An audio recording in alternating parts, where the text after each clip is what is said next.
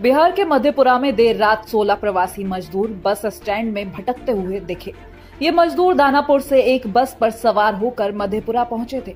मजदूरों की माने तो बस में करीब 50 लोग सवार थे और वो 16 मजदूर इनके अलावा थे। इन मजदूरों के आने की सूचना जिला प्रशासन को भी नहीं थी। जब मीडिया कर्मियों की नज़र इन मजदूरों पर पड़ी तो जिला प्रशासन की पहल पर इन्हें बी एन मंडल स्टेडियम ले जाया गया। जहाँ इनके रहने और खाने की व्यवस्था की गई। मजदूरों के इस जत्थे में 12 लोग मथुरा से पैदल दानापुर पहुँचे थे, जबकि चार लोग मैंगलोर से ट्रेन से दानापुर आए थे। मैंगलोर से आने वाले मजदूरों ने बताया कि उनसे मैंगलोर में 910 रुपए के रेल टिकट के बदले एक हज़ार लिए गए। तभी उनको ट्रेन पर चढ़ने दिया गया। हम लोग पहले तो पे हम लोग को वाले हैं। हम लोग घर जाना है जा सकते हो। मैं तो ठीक है जब ये काम हुआ तो हम लोग को बोला कि एक हज़ार पचास रुपये लगेगा। मैं बोला पैसे नहीं है। डायरेक्ट बोला कि पैसे है जिसके पास नहीं वो नहीं जा तो तो आप एक हज़ार पचास रुपये। क्या कोई रसीद दी गई? और रसीद दिया ना। और टिकट कितने का था? टिकट नौ सौ रुपये का है लेकिन एक हज़ार पचास रुपये हम लोग से लिया नौ सौ दस रुपये देखिए टिकट अभी है। पंजाब में फाजिलका के civil surgeon doctor Harchand Singh ने श्री हुजूर साहब से कुल इक्यासी श्रद्धालुओं वापस लौटने पर बातचीत करते हुए कहा कि इन इक्यासी श्रद्धालुओं में से 21 लोगों की पहले रिपोर्ट आई थी, जिनमें से चार श्रद्धालु पॉजिटिव पाए गए थे अब बाकी 60 लोगों की रिपोर्ट आई है, जिनमें 30 श्रद्धालु पॉजिटिव पाए गए हैं और 30 नेगेटिव हैं। ज़िले भर में अब कुल पॉजिटिव मरीजों की संख्या चौंतीस हो चुकी है, जिनको फाजिलका के गाँव रामसरा और अहर के एक प्राइवेट। अब इन सभी को अस्पताल में शिफ्ट किया जाएगा ਇਹਦੇ ਸਰ ਜੇ ਇਦਾਂ ਗੱਲ ਕਰਨੀ ਹੋਵੇ ਅਬੋਰ ਬਲਾਕ ਦੇ ਹੈਗੇ ਨੇ 13 ਇਹਨਾਂ ਵਿੱਚੋਂ ਫਾਜ਼ਿਲਕਾ ਬਲਾਕ ਦੇ ਹੈਗੇ ਨੇ 9 ਆਬਾਦ ਦੇ ਹੈਗੇ ਨੇ 7 ਇੱਕ ਕੋਈ ਰਾਜਸਥਾਨ ਦਾ ਐਡਰੈਸ ਜਿਹਾ ਸ਼ਾਇਦ ਇਹ ਮਿਸਪ੍ਰਿੰਟ ਹੋਇਆ ਹੈ ਉਹ ਅਸੀਂ ਮਤਲਬ ਕਨਫਰਮ ਕਰ ਰਹੇ ਹਾਂ ਮੈਂ ਭੇਜਿਆ ਬੰਦਾ ਉਹ ਸਾਨੂੰ ਦੱਸ ਦਿੰਦਾ ਆਈਸੋਲੇਸ਼ਨ ਸੈਂਟਰ ਕਿੱਥੇ ਬਣਾਇਆ ਗਿਆ ਜੀ? ਮੇਨ ਆਈਸੋਲੇਸ਼ਨ ਸੈਂਟਰ ਜਿਹੜਾ ਹੈਗਾ ਸਾਡੇ ਕੋਲ ਜਲਾਲਾਬਾਦ ਹੈਗਾ 100 ਬੈੱਡ ਹੈਗਾ ਤੇ ਬਾਬਾ ਫਰੀਦ ਯੂਨੀਵਰਸਿਟੀ ਦੇ ਸੀਨੀਅਰ ਡਾਕਟਰ ਨੇ ਡਾਕਟਰ ਬਾਬਾ ਉਹਨਾਂ ਦੀ ਉਹ ਦੇਖ ਰੇਖ ਦੇ ਵਿੱਚ ਵਰਕ ਕਰ ਰਿਹਾ लॉकडाउन के बीच खुल रही शराब की दुकानों के सामने लगी लंबी लंबी कतारें ये साबित कर रही हैं कि प्यास बुझाने के लिए सिर्फ पानी ही काफी नहीं है लगभग 40 दिन के बाद खुलने वाली मदिरा की इन दुकानों पर मदिरा खरीदने वाले अंग्रेज़ी मीडियम स्कूल के बच्चों की तरह बेहद अनुशासित दिखे और सोशल डिस्टेंस बनाए हुए दिखे। अब ऐसे में देखना ये दिलचस्प होगा कि क्या ये अनुशासन और लॉकडाउन नियमों का पालन तब भी जारी रहेगा जब बोतल में बंद मदिरा का घूट इन मदिरा प्रेमियों के गले से उतर जाएगा। आपको बता दें, यूपी के रामपुर में वाइन शॉप पर पहुँचे बिजनेसमैन गुलशन अरोड़ा ने बताया कि शासन और प्रशासन के आदेश के बाद शराब की दुकानें खुली हैं। जिसके बाद खरीदारों की भीड़ भी लगी, जहाँ बहुत अनुशासन के साथ लोग शराब खरीदते दिखे। इसके अलावा उन्होंने बताया कि हमारे देश को मज़बूत करने के लिए शराब, पान, गुटखा, ये कुछ खास चीज़ें हैं जिनकी बिक्री पर रोक नहीं लगाना चाहिए। इससे हमारी अर्थव्यवस्था को फ़ायदा होगा। उपयोग कर रहे हैं। बहुत ही अच्छे ढंग के साथ वो शराब खरीद रहे हैं और पी रहे हैं। तो कहीं ना कहीं जैसे कि कोरोना वॉरियर्स काम कर रहे हैं कोरोना से लड़ने के लिए तो लगता है ये रेवेन्यू का जो पैसा जाएगा वो भी एक तरीके से योद्धा की तरह काम करेंगे। हमारी अर्थव्यवस्था को मज़बूत करने के लिए शराब पान गुटखा ये खास चीज़ें हैं। इनकी बिक्री कर पर रोक हटाने के बाद सरकार ने बहुत बड़ा कदम उठाया है। जिससे हमारी अर्थव्यवस्था को भी फ़ायदा होगा। वजह ही है और कोई क्योंकि चालीस दिन तो लोगों ने वैसे इंतज़ार करा सरकार नहीं रख पाई। चालीस दिन तक इंतज़ार। तो वजह यही है कि सरकार को रेवेन्यू की कमी है। इस वजह से फिर भी आप लेने आए हैं? जी? उसके बाद आप यहाँ लेने आए हैं? जी। गवर्नमेंट दे रही है तो हम लेना है। गवर्नमेंट बना एक साल बंद कर देगी नहीं पियेंगे कोई दिक्कत नहीं है।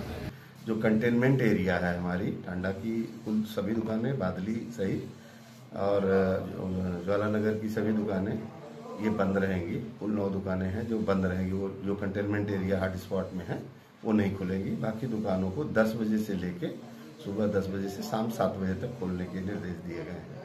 इनको ये कह दिया गया है कि सोशल डिस्टेंसिंग का पूरा पालन करेंगे। कोविड 19 के जो मानक निर्धारित किए गए हैं, उसका शत प्रतिशत पालन करेंगे। यूपी के सहारनपुर में बडगांव के नूना बड़ी गाँव में दो दोस्तों में आपसी विवाद को लेकर चाकू चल गए। इस घटना में 22 वर्षीय एहसान की अस्पताल ले जाते समय मौत हो गई। युवक की हत्या का आरोप पड़ोसी युवक भूरा पर लगाया गया है।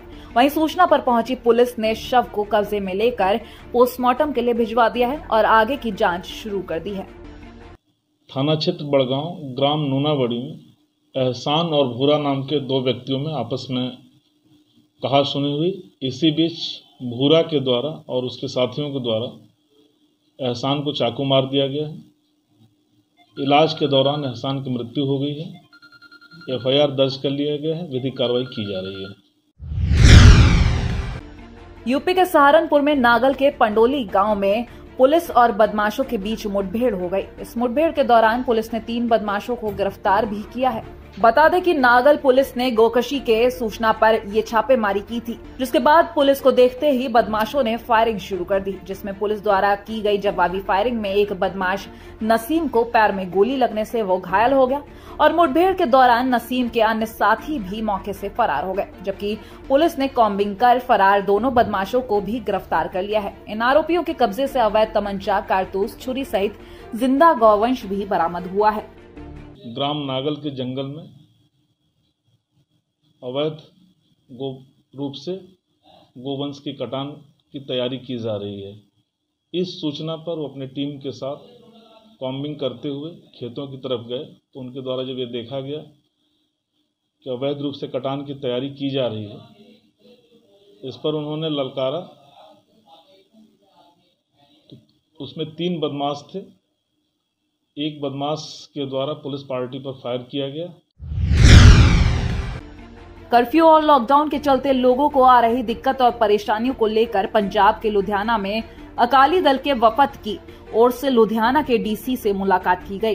इस दौरान अकाली दल ने मौजूदा कैप्टन सरकार पर कई तरह के गंभीर आरोप लगाए, जिसमें अकाली दल विपक्ष नेता शरणजीत सिंह ढिल्लो ने कहा कि जो नीले कार्ड धारक लोग हैं, उनके भी कार्ड रिजेक्ट कर दिए गए हैं, जो कि इन लोगों के साथ धोखा है। इस दौरान उन्होंने ये भी आरोप लगाया कि अकाली दल के वर्करों के साथ भी मौजूदा कैप्टन सरकार धोखा कर रही है। ऐसे समय में लोगों का साथ देने के बजाय वो लोगों के साथ तानाशाही जैसा रवैया अपना रहे हैं, जिसको कोई भी बर्दाश्त नहीं करेगा। इसी मामले को लेकर वो लुधियाना के डीसी प्रदीप अग्रवाल से मिले थे, जिसमें उन्होंने अपनी विशेष मांगों को लेकर उन्हें अवगत कराया। साथ ही मुख्यमंत्री कैप्टन अमरिंदर सिंह को भी इस मामले पर गौर करने के लिए कहा है। यूपी के झांसी में अज्ञात लोगों द्वारा चिड़िया मार बंदूक से फायरिंग कर राष्ट्रीय पक्षी मोर की हत्या कर दी गई। मामले की सूचना मिलते ही वन विभाग की टीम मौके पर पहुँची और मोर के शव को पोस्टमार्टम के लिए भेज दिया। इस मामले में अज्ञात लोगों के खिलाफ पुलिस में प्राथमिकी दर्ज कर जाँच शुरू कर दी गई। बता दें कि पूरा मामला झांसी में बड़ा गाँव के ग्राम बावल टांडा का है। मोर मेरा हालत में पड़ा हुआ है, ठीक है? उस मोर के लिए तत्काल मौके पर अपने स्टाफ को भेज दिया गया। मोर बरामद की गई, उसका पोस्टमार्टम कराया गया। उसमें कुछ निशान गोलियों के छलों के पाए गए। जो चिड़िया मार बंदूक से उनको मारा गया है। संबंधित के खिलाफ, अज्ञात लोगों के खिलाफ नाम पता मालूम नहीं चल पाया। उनके खिलाफ पुलिस में प्राथमिकी दर्ज कराई जा रही है। और आगे की जो भी कार्रवाई होगी, अवगत कराया जाएगा। यूपी के लखीमपुर में एक तरफ़ जहाँ नगर पालिका वार्डो की सड़कें खस्ताहाल हैं तो वहीं दूसरी तरफ़ नगर पालिका प्रशासन अच्छी हालत में बनी सड़कें उखाड़कर नई सड़कें बनाने में जुटा हुआ है। पूरा मामला लखीमपुर सदर नगर पालिका का है, जहाँ मौजूदा समय में मुख्य मार्ग में कुछ साल पहले सड़क चौड़ीकरण को लगाई गई इंटरलॉकिंग उखाड़कर सड़क निर्माण कराने का काम किया जा रहा है। सड़क निर्माण को लेकर स्थानीय दुकानदारों में गुस्सा है कि पूरी सड़क सही होने के बावजूद भी बार बार उसी सड़क को तोड़कर बनाया जाना शासन के धन का दुरुपयोग है। पालिका प्रशासन को सबसे पहले उन सड़कों पर ध्यान देना चाहिए जो चलने लायक नहीं बची हैं। मामले में नगर पालिका के अधिशासी अधिकारी की माने तो जिलाधिकारी के आदेश के बाद पूरी सड़क को हॉट मिक्स बनाया जाना है, जिसको लेकर निर्माण कार्य कराया जा रहा है। जगह जगह टूट भी गई थी। उसको जो है पालिका प्रशासन ने डीएम साहब से मत ले करके वो डामर रोड हार्ट मिक्स रोड बनाया जा रहा है। और इसी वजह से जो किराने किनारे की साइड उखड़ रही हैं जब तक उखाड़ी नहीं जाएँगी तब तक लेवल आ नहीं पाएगा। अच्छा लोगों का आरोप है कि रोड सही थी जहाँ बननी थी वहाँ बन नहीं नहीं रोड सही नहीं थी। रोड जगह से सीसी रोड थी उखड़ी गई थी। किनारे किनारे ढाबी से नहीं थे उसमें। और उसको सीसी रोड से डामर रोड में कन्वर्ट करना है। और काफ़ी या तो हम CC road CC road repairing हो नहीं सकती है। एक बार अगर बन जाती है उसकी रिपेयरिंग नहीं होती है। नया ही रोड होता है। और हमारे मेन मार्केट मुख्य मार्ग है ये। तो इस वजह से इसको लिया गया है। और प्रस्ताव काफ़ी पुराना है।